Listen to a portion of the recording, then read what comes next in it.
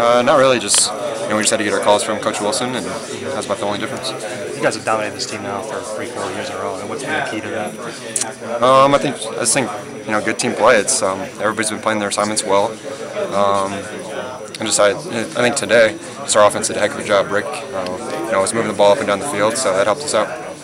You got uh, half your career interceptions against these guys. What, what, what is it? Are you motivated, or, or you know, is it? Uh, is Um, no, I don't know. It's just you know preparation. You know, just seeing what they do um, and just recognizing on the field and just being the right right place at the right time and just finishing the play. does it mean anything more to you? Now you can say it now because you don't see him again. Does it mean anything more to you because your dad's association with that program? Or, Uh, you know, to be honest with you, no. know, I, you know, I don't really get you know too uh, wound up just because my dad, you know, played there back in the '70s. I just, you know, we all on our team we look at it as another game, another big game, and um, try to do our best. Brett, this is 10 straight games now, though, that there's been a trophy on the line and you guys have won. I know you want to win every game, but is there some extra motivation when you have that prize to run across the field and, pick up?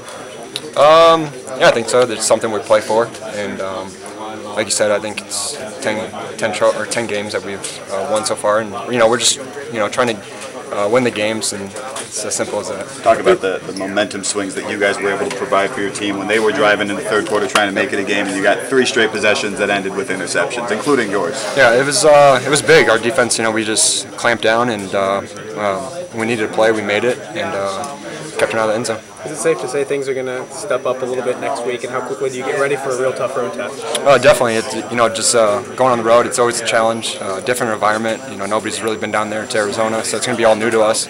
Um, and then on top of it, they're a very good team, so it's, it's going to be a big challenge. if they were in the red zone there twice in the third quarter and, and you come away with picks, um, were you guys focused on the, you know, let's keep them out of the end zone because we got a little thing going here, or, or was it just uh, just playing the game? Just you know, just playing the game. You know, we don't as a defense, you don't you don't want any team to score touchdowns, and that's basically what it was. You know, we just had to clamp down, make plays, and uh, keep them out. About the first quarter, uh, you guys played three snaps. Three snaps in the first quarter. Yeah. was. What's that like for you guys? Uh, it's good. It, you know, if we're not playing, that means our offense is doing a good job moving the ball up and down the field. And like I said, um, you know, Rick and our offense did a heck of a job today. Nobody gets nobody gets antsy.